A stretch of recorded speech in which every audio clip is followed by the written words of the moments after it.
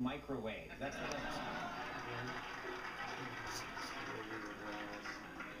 with a hot dog. They're making a wine.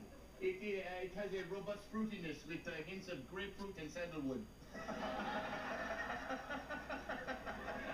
Hello.